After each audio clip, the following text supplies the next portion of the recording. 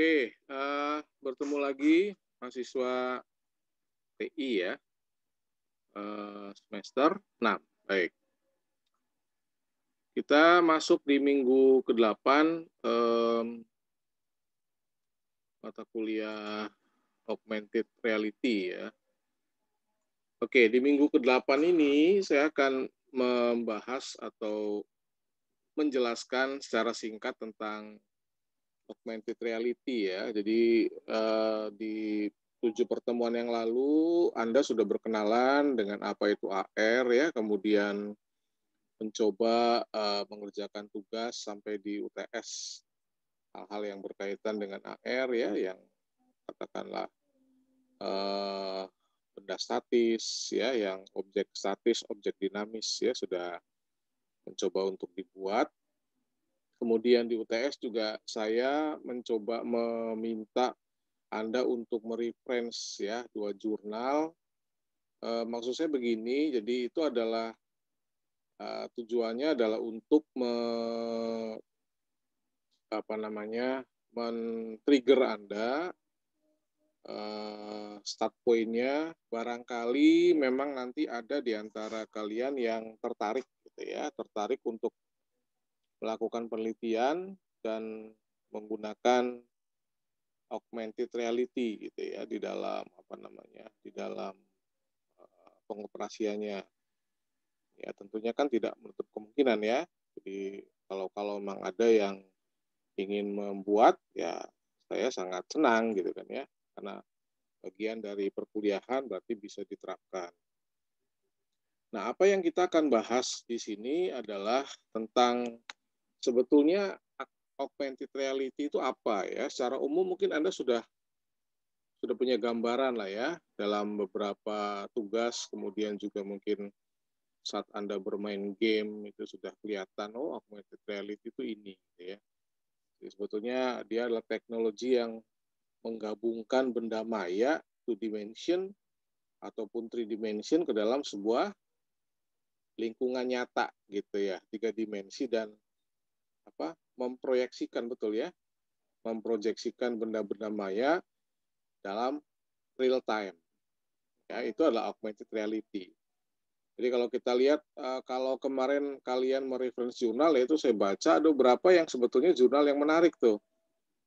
Ya memang sebagian besar eh, apa namanya implementasinya masih implementasi yang sederhana ya tapi itu bisa menjadi menjadi eh, fondasi untuk Anda bisa mengembangkan ke eh, penelitian yang lebih kompleks sebetulnya. Ya. Coba ada mungkin beberapa yang ngangkat ini gitu ya, ngangkat ini ke dalam ke dalam penelitian nanti di, di skripsi ya, mudah-mudahan ada. Jadi ini enggak enggak cuma Anda oh yang sebatas yang penting sebatas Anda ngerti tentang mengenal gitu ya, tapi tidak mendalami eh, HR. Terusnya memang ada beberapa yang yang saya lihat sudah cukup bisa tuh mengimplementasikan AR-nya ke dalam bidang tertentu ya. Nanti kita akan coba beberapa kita akan lihat. Nah, kemudian pertanyaannya apakah sama dengan VR gitu ya? VR apakah sama dengan VR? Uh, eh, ini beda gitu ya, beda. Jadi kalau kalau virtual reality itu teknologi yang bikin pengguna atau user itu bisa berinteraksi gitu, betul ya, dengan lingkungan lingkungan di dunia maya yang disimulasi oleh komputer. Jadi seakan-akan kita berada dalam lingkungan tersebut. Nah itu virtual reality. Jadi kalau ada game-game virtual yaitu virtual reality ya, bukan AR, bukan virtual reality. Jadi game-game online sekarang itu VR semua sebetulnya sebagian besar ya. Jadi kita dibawa oleh teknologi ke dalam lingkungannya mereka gitu ya. Ke dalam lingkungan yang yang disimulasikan oleh itu kan Anda kan ikut simulasi kan? Betul ya? Kalau Anda main game itu ikut simulasi sebetulnya.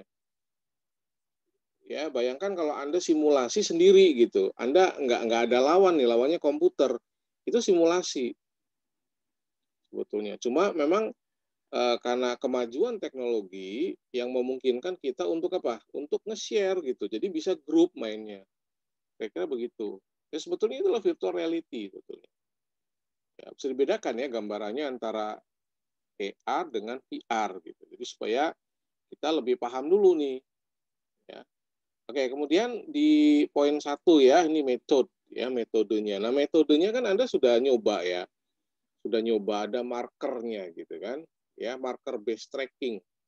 Gitu. Jadi biasanya uh, ilustrasi betul ya, ilustrasi hitam putih, persegi, batas hitam tebal dan sebagainya lah.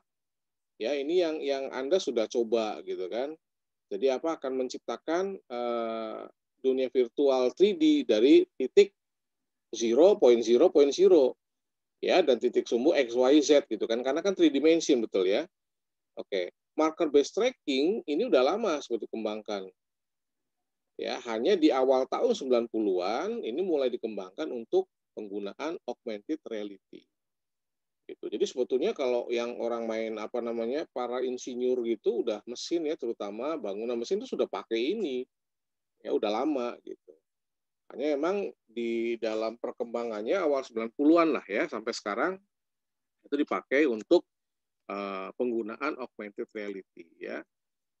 Nah, salah satu yang berkembang sekarang ya. Jadi salah satu metode yang berkembang yang sekarang berkembang adalah metode uh, markerless augmented reality. Tahu ya? Markerless itu nggak perlu pakai marker gitu. Nggak perlu bikin uh, buat marker untuk menampilkan elemen-elemen digital gitu ya dengan tools yang disediakan oleh Qualcomm untuk pengembangan IR gitu. Ya, jadi kalau sebetulnya kan begini, softwarenya banyak ya yang Anda bisa pakai, tapi memang sudah lari ke sana. Jadi kita nggak perlu punya markernya lagi nih, Saudara.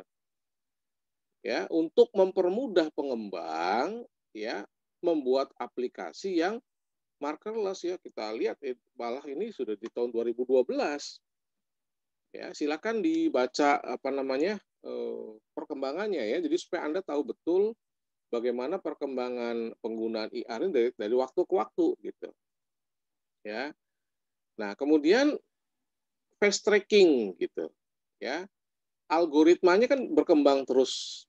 Ya jadi bikin apa namanya komputer tuh bisa mengenali apa namanya wajah manusia secara umum ya mata hidung dan sebagainya lah.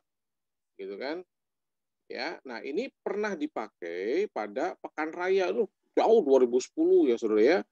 Kemudian Toy Story dan sebagainya. Ini kalau anda baca memang kalau katakan wah sebetulnya di tahun-tahun dulu gitu ya zaman mungkin anda masih SMP katakanlah ya. SD mungkin SMP ini udah jauh dipakai gitu saudara. Jadi memang eh, ini bukan barang baru. Ya bukan barang baru. Artinya kalau anda menge, apa namanya mulai ngoprek sekarang ya sebetulnya banyak sekali pendahulu anda yang sudah meneliti ini itu bahkan sudah mengimplementasinya pada beberapa bidang terutama film. Ya jadi silakan nanti bisa di bisa dikembangkan lagi gitu yang anda sudah lakukan. Coba gitu ya. Makanya kemarin saya eh, bilang anda coba jurnal. Itu maksudnya bukan cuman bukan cuma nyari jurnal, saudara ya, bukan cuma nyari jurnal. Itu Anda betul-betul e, membandingkan gitu, mengevaluasi gitu. Jurnal pertama itu bicara tentang apa gitu kan, jurnal kedua bicara tentang apa.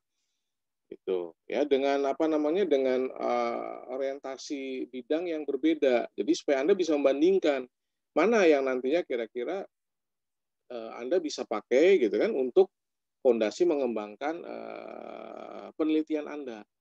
Maksudnya sih itu. Ya, jadi bukan saya ngerjain Anda, aduh ngapain sih gitu lihat jurnal, tuh.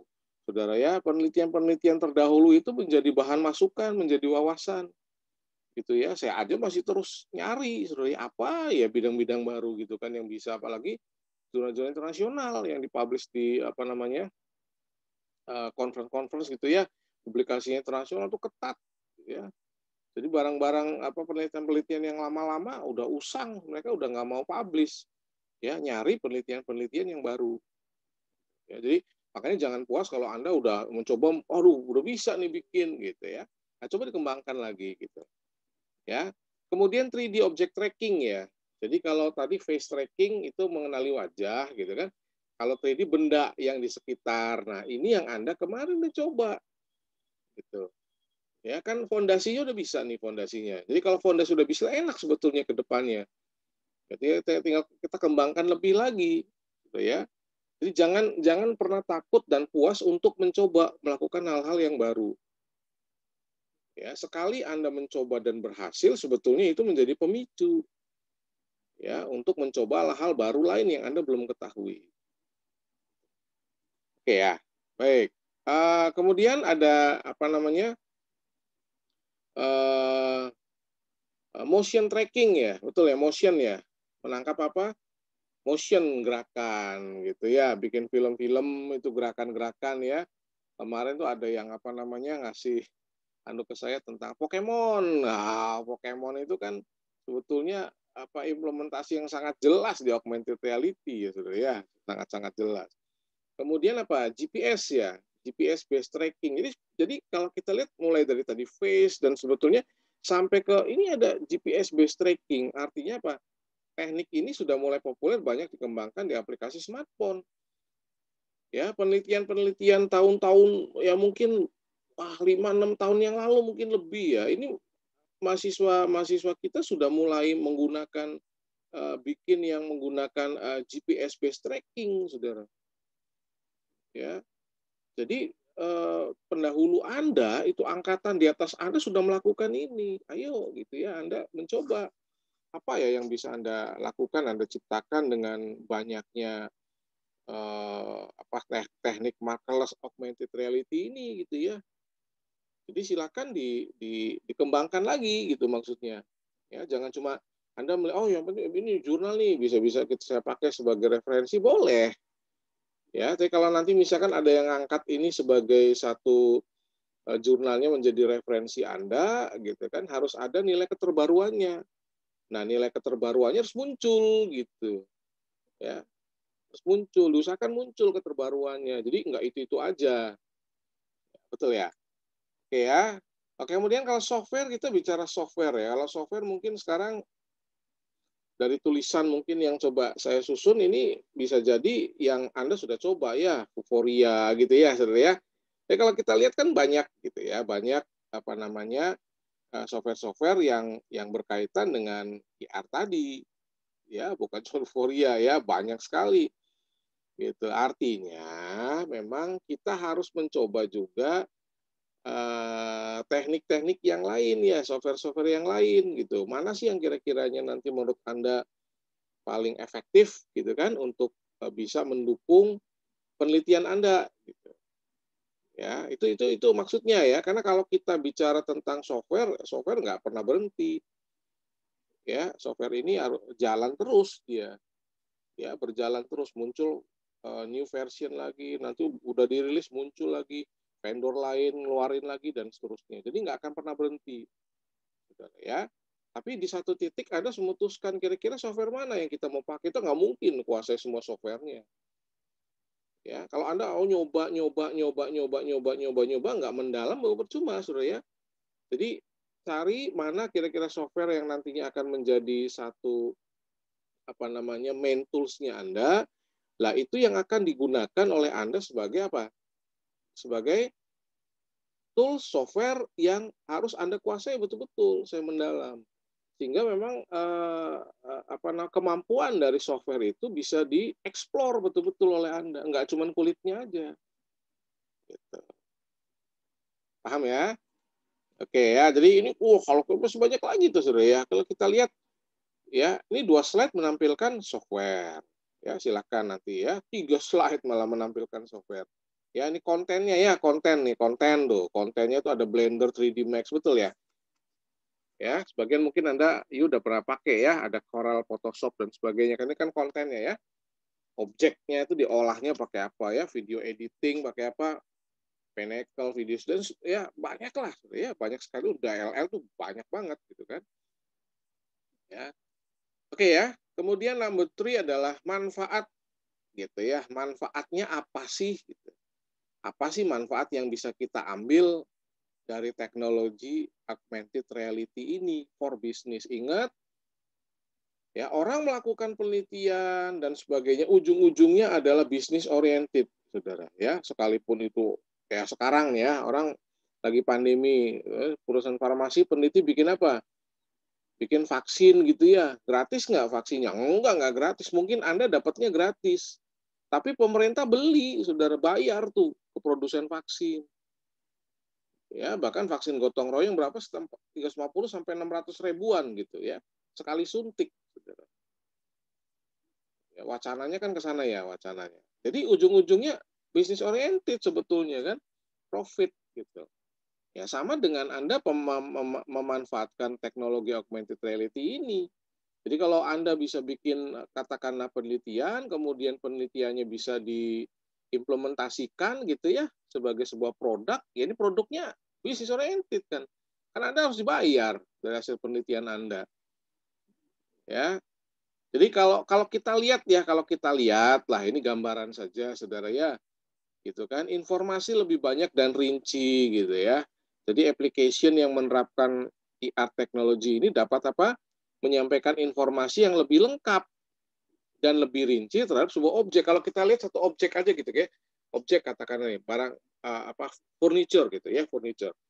Kursi ini kursi. Kita nggak tahu kan kursi itu kayunya dari kayu apa, catnya bahannya apa, sudah go green atau belum, ramah lingkungan atau belum gitu maksudnya ya tingginya berapa, lebarnya berapa, panjangnya berapa, kan nggak kelihatan. Saudara. Nah, informasi itu bisa disimpan menggunakan teknologi AR tadi. Itu maksudnya. Jadi kalau orang jualan itu dia nggak usah bawa kursinya, betul ya? Betul ya, saudara ya? Gitu kan. Dia tinggal tunjukkan menggunakan smartphone. Ya, muncul dah objeknya, penjelasannya lengkap. 3D gitu ya menjelaskan tentang rumah sama gitu kan ya interiornya rumah dan sebagainya dan sebagainya. Pak ini gini gini gini. Cuman gambar doang flat gitu ya. Nggak kelihatan apa-apa brosur. Udah nggak main sekarang hati-hati saudara. Banyak yang masih menggunakan brosur kan ya. Orang jualan pakainya brosur. Nggak bawa sampelnya. Kalau kalau gini saudara contoh ya. Kenapa kok orang jualan mobil kudu ditongkrongin mobilnya? Ya tujuannya apa? Supaya orang bisa lihat mobilnya kayak apa. Coba kalau orang jualan mobil nggak ada mobilnya, ada yang deketin nggak kira-kira? Nggak ada yang deketin. Ya orang jualan motor ditongkrongin nggak motornya? Ditongkrongin motornya. Ya, tapi bayangkan, bayangkan kalau ini sudah bisa diimplementasikan, artinya oke okay, mobilnya ditongkrongin di situ kan. Tapi kalau demikian banyak pengunjung yang pengen lihat kan, Anda tinggal tunjukin menggunakan IR teknologi ya mampu menyuguhkan apa tampilan yang interaktif dan menyenangkan. Tuh, saudara ya. Wah iya nih dalamnya bagus, oh no, ah dan sebagainya. Ya meningkatkan apa brand image. Ya anggapan teknologi AIR adalah teknologi baru, maju, interaktif gitu ya, menyenangkan dan biaya yang tidak murah sehingga perusahaan menggunakan ini adalah perusahaan yang yang bonafit saudara ya. Kalau perusahaan-perusahaan kecil menggunakan IR, kayaknya belum nyampe ke sana gitu kan. Tapi perusahaan-perusahaan sekelas Toyota, perusahaan-perusahaan mobil terkemuka itu udah manfaatkan ini. Saudara, mau nggak mau mereka itu meningkatkan brand image. Ya, wah perusahaannya perusahaan bonafit, perusahaan bermodal besar, ya sampai bisa menggunakan teknologi. Ini kan teknologi baru sebetulnya. Walaupun penelitian ini udah lama gitu ya. Kan kita bilang di 1990-an tuh Udah lama, saudara ya. Kebayang ya, udah 30 tahun yang lalu kan. Ya, tapi ngetrennya sekarang-sekarang ini gitu. Ya, dan yang terakhir apa? Meningkatkan penjualan ini intinya, saudara. Ya, jadi IR ini adalah satu teknologi yang bisa kita kemas untuk banyak bidang. Memangnya kalau kemarin Anda yang reference jurnal kan ada tuh yang pendidikan, saya lihat ya, ada yang kesehatan gitu ya. Ada tuh ya. Jadi bisnis juga ada ya. Bidang apa lagi itu ya banyak gitu. Itu menarik loh bagi saya sih itu itu gratis, su su suguhan gratis. Saya nggak usah nyari-nyari, Anda yang nyariin buat saya. Itu salah satu tujuan saya sebetulnya. Ya, tapi bagi Anda sendiri adalah referensi jurnal dua jurnal yang Anda itu belum cukup. Itu belum cukup, cari yang lain. Tuh Saudara ya, cari yang lainnya.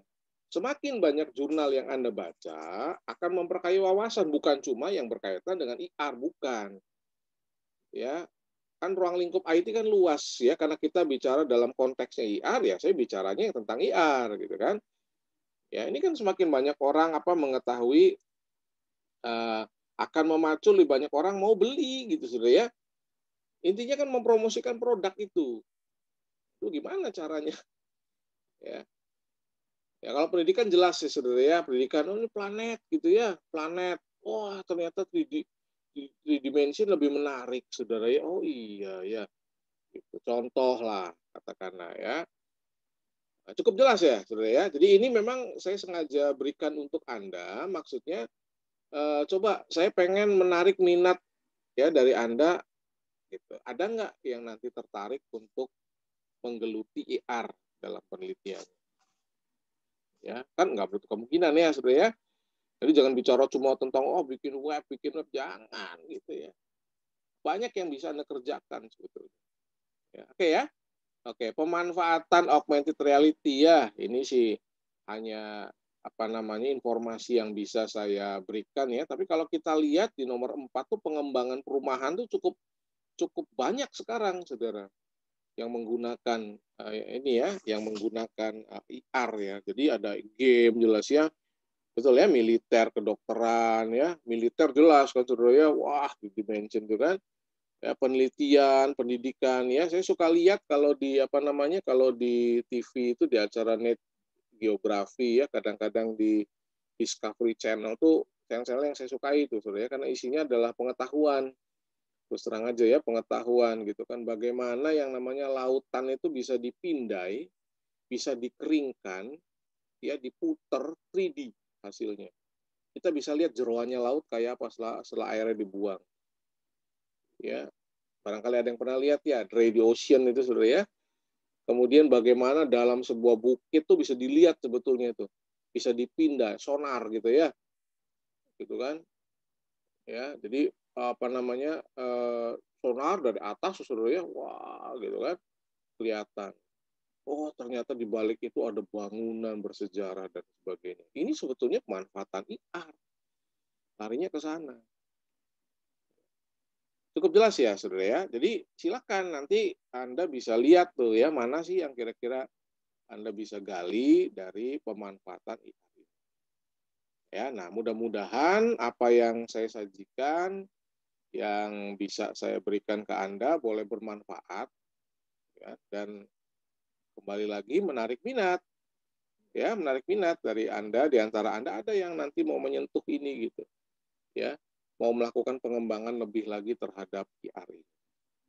Ya. Baik ya, demikian saya sampaikan atas uh, atensinya. Saya ucapkan banyak